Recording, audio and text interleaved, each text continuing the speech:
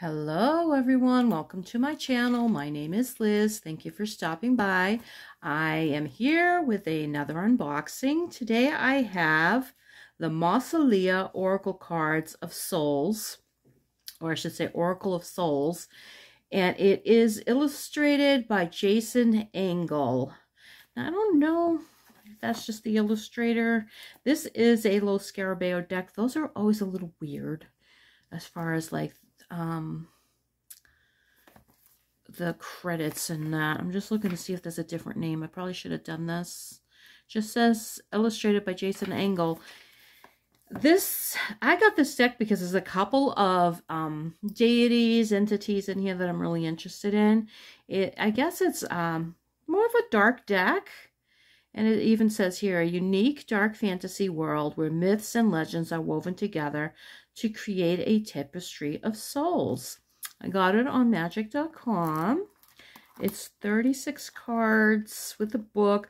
I'm going to guess the book is tiny because it's usually little Scarabeo books. Well, they're not necessarily tiny, but they have um, all these different languages. So, looks like six different languages. And that's why some I'll say the book is tiny because a lot of times it is small. Eh, I think it's going to be tiny. It's kind of a cool deck though. Like it's all black. That's black. It's got a black ribbon. it's one of those dark ones. I actually got, I guess, I got the Dark Mirror also to kind of go along with this set because I heard it goes along really, really well with it. So we'll see because I'll be doing that one next after I do this video or maybe tomorrow. All right, so let's see how many pages we got for English. Um, 32. And actually it's less than that because really starts on page 5. So that's about English, which is fine because it's got descriptions of the cards. I don't know how good they are. We shall see. You know, and the rest are on the other uh, languages. Are kind of cool, though. I, I like the look of these cards. They're different.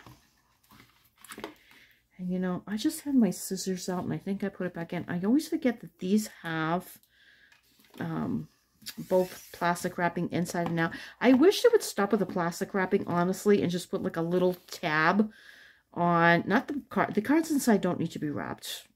I don't know why they do that, but, like, on the sides here, you know, because you don't need all this plastic wrapping. It seems like a huge waste to me. And, you know, I'm, I try to be conscious, environmentally conscious of stuff.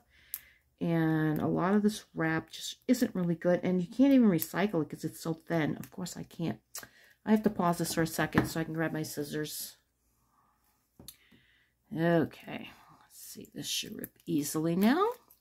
So it's 36 cards. Lo Scarabeo cards they run the gamut. They can be nice or they can be like crappy quality. You know, these seem nice. Oh, actually, they are nice. Hmm, they are shiny. I mean, you can see the glare, but that, I will try to minimize it, you know, with the lighting I have going on here. Um, that's the back. Look how interesting this back is. It looks like it's got, um, I would call those maybe sigils or one sigil. Like it's got these up here, but then it's got all a bunch of different stuff underneath it. It's got all this depth. Hmm. I like it. All right, so let's see. I saw these online on other things, other um, pages, and uh, uh, I should say channels, and I thought they were really interesting. All right, so Abraham, Justice of Pandemonium, Justice, Truth, Duty. The Travelers, Keeper of the Crossroads, Restlessness, Independence, Appraisal. They're very different. This is just, they're a little bit creepy, some of them. Not all of them. All of them are not. The Thinker, The Father of Knowledge, Knowledge, Instruction, Reinvention. They really don't have much of a border, just the top and the bottom here. And they have, um, uh, what was I thinking just now? Think is, oh, no numbers, which I always wish they have numbers, but whatever. The Exile, Forsaken Soldier, Strategy, Failure, Trauma. I mean, these are more fantasy type things. They're really, the artwork is beautiful. As creepy as it can be, it's actually very beautiful. The Maestro, Master of Inspiration, Understanding, Community, Ingenuity. Poet of Avon, The Storyteller, Fame, Stagnation, Pride. Hades, Lord of Riches, Equanimity, Wisdom, Inevitability. Now, I thought Hades was always the Lord of the Underworld, so don't know. You know what? Maybe I'll hold that one back and we'll check on that. Vanth, Caretaker of the Lost, Respite, Assistance, Memory. I love her. She is gorgeous. Love it. Um, I'm going to say that's Charon, the Ferryman, Necessity, Focused Transition. Mother of Dawn, the Emissary, Beauty, Agency, Compassion. I love this card. Gorgeous. Thanatos, or Thanatos. Mm, I'm saying, I don't, I'm probably murdering it, but I'm trying. Warden of Dis, Completion, Support, Expediency. I love this one. Nyx, Enchantress of Night, Secrets, Vigilance, Subterfuge. I believe Nyx is a Greek goddess. Greek, uh, I think goddess of the night, I believe.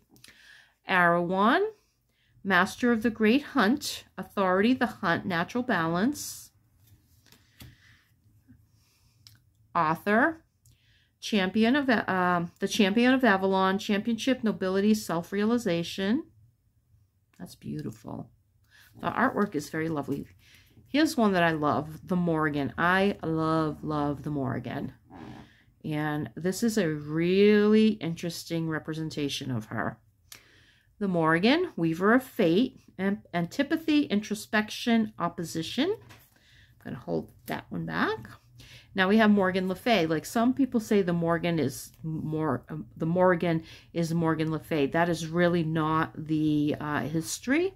Morgan Le Fay is from uh, the Arthurian legends in England, whereas the Morrigan is an Irish goddess.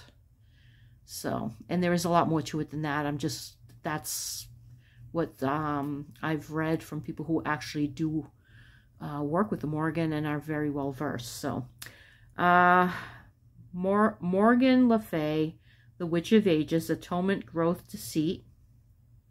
What a beautiful card though, huh? Gorgeous.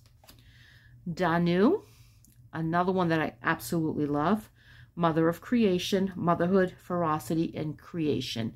Danu actually might, might be, or I think is known as the mother of she is the mother of the Tuatha De Danann in uh, Irish legend, but she's, I think, the also the mother of the Morrigan.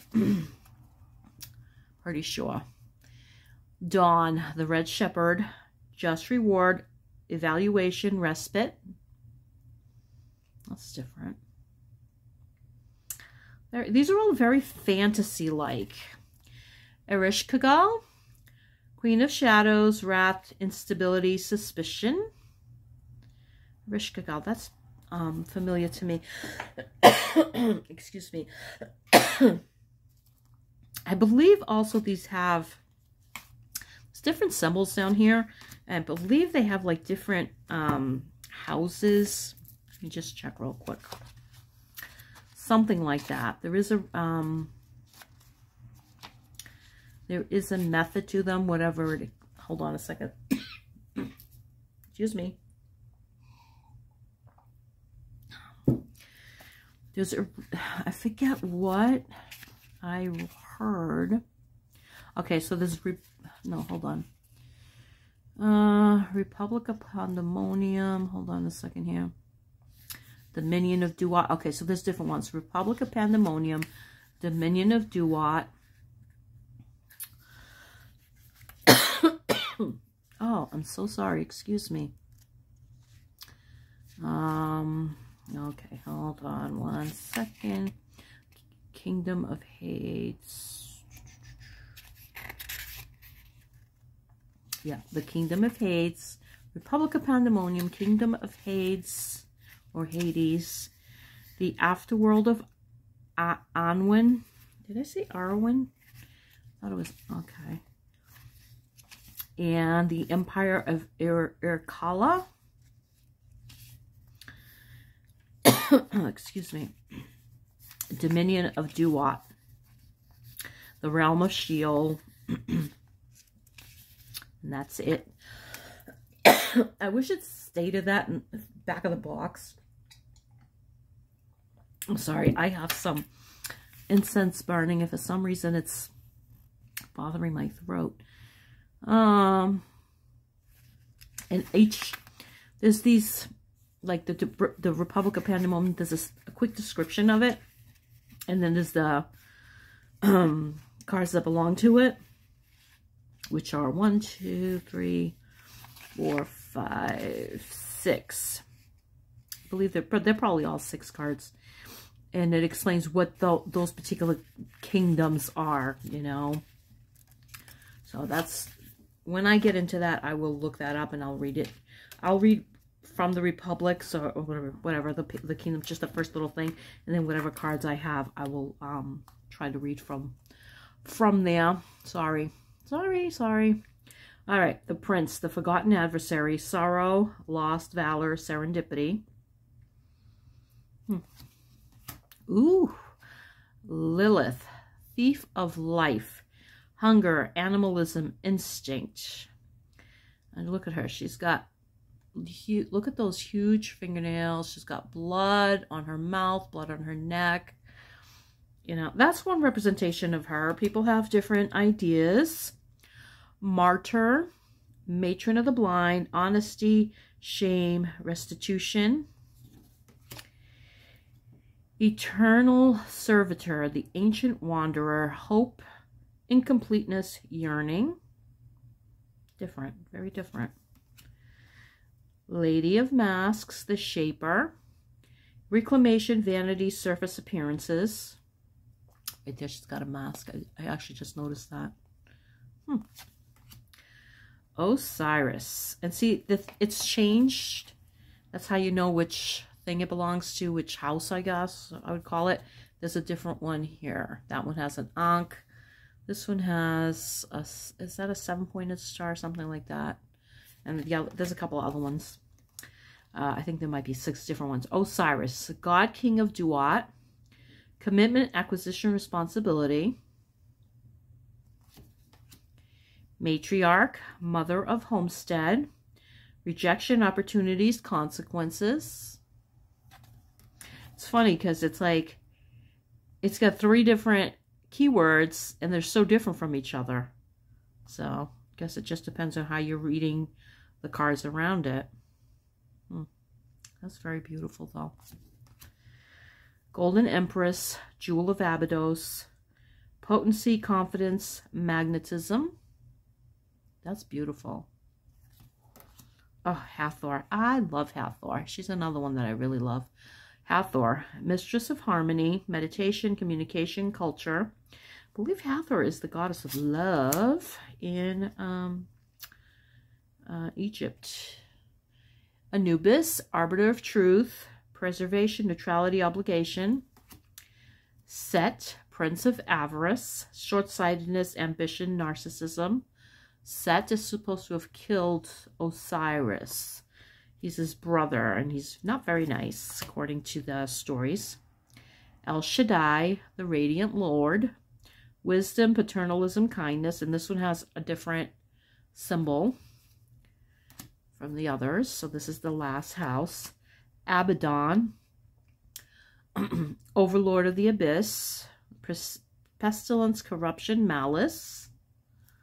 So that might be like the devil. Jeanette the Maid, Guardian of Saints, Humility, Disillusionment, Champion. So this is, oh, I'm sorry, Jean the Maid. I heard, I saw Jeanette, but Jean the Maid. This would be um, Saint Jean, Saint Joan of Arc or Saint Jean d'Arc. You know, Uh, definitely get that vibe from there, and I'm pretty sure that's that's who that is. You know what? Let's find out. The Leper King, Sword of Law, Bravery, Self-Discipline, Faith. The Ageless, The Light in the Darkness, Healing, Graciousness, Acceptance. That's beautiful too. It's like, is it a male? Is it a female? It could be either or. It's kind of uh, ambiguous that way. I like that.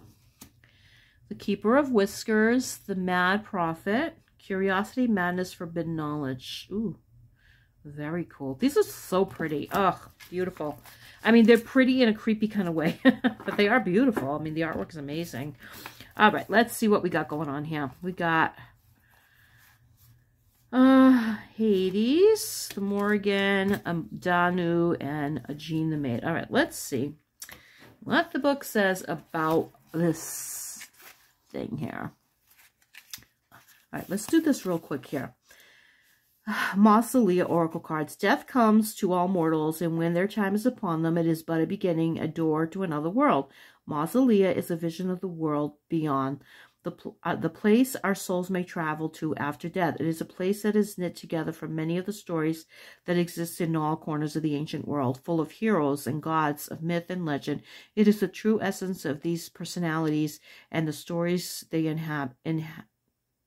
Inhibit no inhabit that is intended to lend insight and reveal, reveal hidden truths of our own lives and the path we travel the spirit world of Mausolea is comprised of countless realms, and this deck contains six of these great kingdoms. Okay, kingdoms. Each reflection of their own world, and from each of these has been selected six inhabitants who best represent certain qualities and ideals. It is the power of these personalities and traits that illuminate the path before you. Two methods can be useful for reading these, uh, reading with these cards: the Way of Paths and the Great Wheel, and those are um, what do you call it, uh, spreads that they have here. Okay. All right. So it gives you an idea how to work with the cards. Hmm.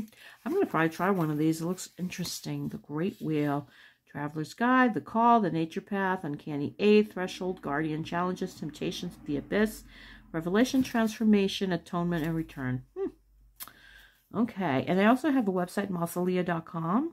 So that would probably be good. Uh, the Republic of Pandemonium, a city, the city of Pandemonium and its surrounding lands belong not to the gods, but to the archons of human achievement.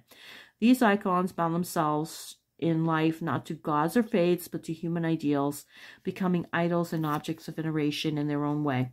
To dwell in pandemonium is to still be bound by the temporal goals and abilities of human life, whether the glory of success or the haunting specter of failure. Mm. Okay. Let's see, the kingdom of Hades. The realm of Hades is next to Pandemonium, the most mortal of the domains. It is perhaps due to the int intensely human nature of the gods that dwell in and adjacent to it. To dwell in Hades is to express the care of the dead for the living, inev inevitability of human nature, and the possibility of change, even past the point of no return. Hmm. Okay. I like this. This is different. This seems like a very deep uh, kind of deck. You know, you're not going to use this one lightly, that's for sure. The Afterworld of our... Why do I keep saying... Okay, there is Arwen, so it's Annwn. The domain of Annwn is the ancient hunting ground of the gods, a land of myth and folklore. It is both wild and unpredictable and bound by traditions, customs, and rituals such as in rituals as old as time itself. To dwell in Annwn is to be both bound and wild, ancient and childlike, fair and bestial. Wow. Okay, and let's see, what's the other one? Um, Dominion of Duat. Dominion of Duat is a center of secrets, ritual, and mystery, and its temples and desert monuments, the true nature of being, reality, and creation are hidden. Unlock unlocked only through adherence to its rites and rituals. To dwell in Duat is to face the realities most high from most thoroughly. How well do you know yourself, your desires, and whether your heart and intentions are pure? For in Duat, these will surely be judged. Okay. The realm of Sheol. Like Urkala, the realm of Sheol is concerned with bright and dark dualities, where Urkala focuses on the emotional experience. How emotional experience, however, Sheol centers the extremes of human sin and holiness. To dwell in Sheol is to submit to the judgment of the Absolute, to suffer between the difficult requirements of grace and the easy torments of corruption, and to have the courage to discover where you fall in your overall contribution of good to the world or evil. Okay. And that's it. Did I miss one? I'm just Realm of Sheol. Dominion of Duat. I don't think I missed one, but let me just make sure I thought um, the Empire of Kala. Oh, I did miss this one. The Empire of Urkala. Um, a realm of bright and dark dualities. In Urkala, sorrow and joy are shared and balanced in equal measure. The gods of Urkala value obligation and sacrifice. Few who entered this domain are ever permitted to leave again. To dwell in Urkala is to accept the obligations of society, to seek a simple, finite existence, to understand the balance between one's rational mind and one's emotional experience. Hmm. All right, I it's different. It's different. I can honestly see myself like looking at these pictures, reading those descriptions, and kind of my mind kind of wandering. All right, so let's go to Lord of Riches. Hey, okay, I went right to it. I'm just wondering if there is a, not a glossary. Would that be a glossary? Where you can find the pages? No, that's going to be a little difficult to find them. So, huh.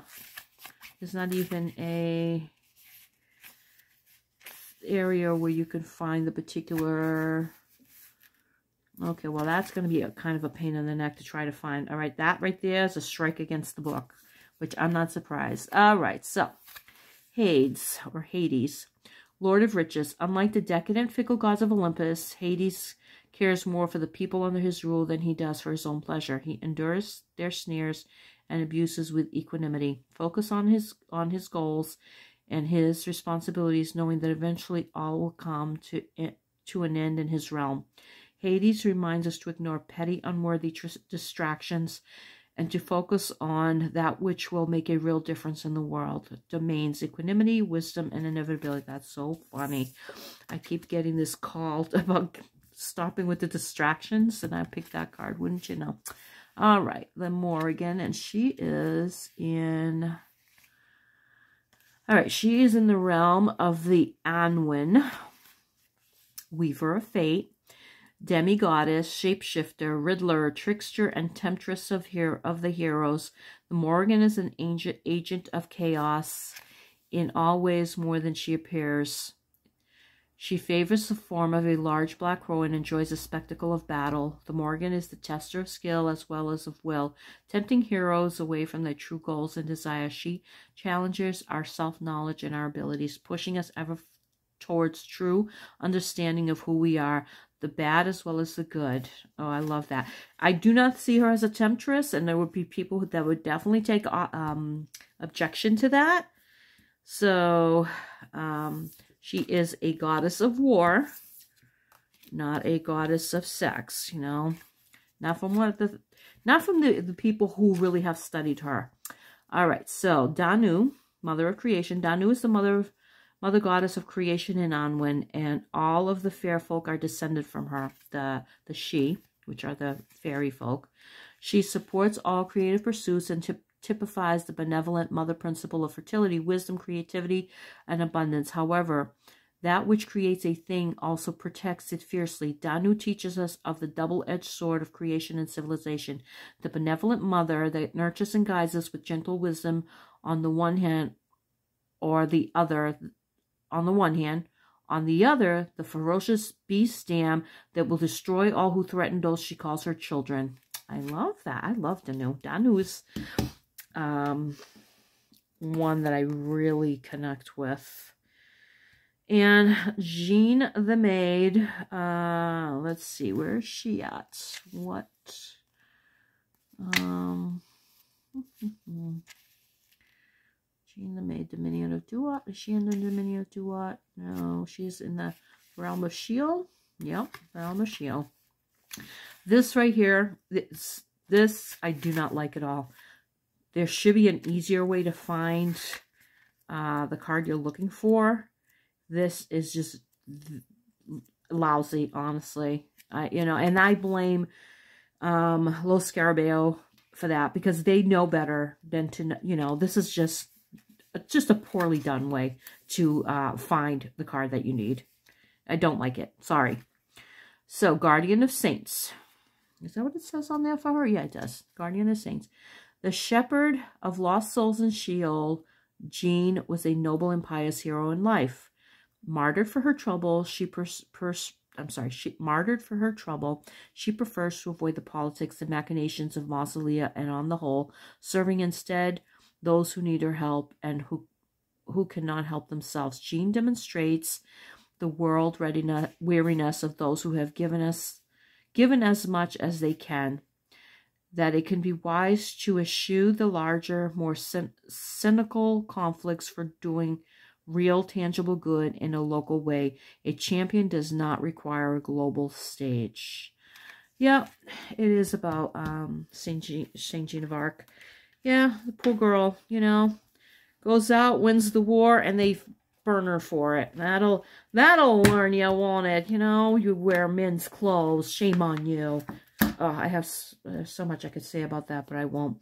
It's just a terrible injustice in this world.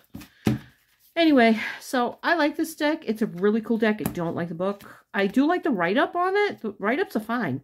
The descriptions of the different kingdoms, that's fine. Uh, I wish I had a little bit more, you know, on that because I think it would be really interesting to kind of like delve into the kingdoms. I just can't, don't like that to find the cards, you have to find the kingdom, which there's no glossary for it. And then you, if you're, you don't know exactly what these little, whatever they're called, symbols are, what they mean. So it's kind of silly. I don't, I don't like that. Other than that, I do like the deck. I think it's a beautiful deck. It wasn't that expensive at all. I got it, um, I want to say it was probably $15 around that on magick.com. Like I said, you guys, if you're not shopping magic, you're missing out. Especially if you can live, they have a program through them where you pay every two weeks. So you can get a $100 worth of decks and whatever else because they have a bunch of other things on there. They have statues, they have um, crystals, they have uh, instant, they have everything. And you could pay every couple of weeks and for for two months. I believe it's a total of four payments every two weeks. It's a no-brainer, you know. Can't if you have a hundred dollars and you pay it over two months, you know, it's 25 bucks a week. You're not even going to miss that. So I like it. All right, you guys. Thank you so much. Have a perfect day wherever you are. Blessings and thank you.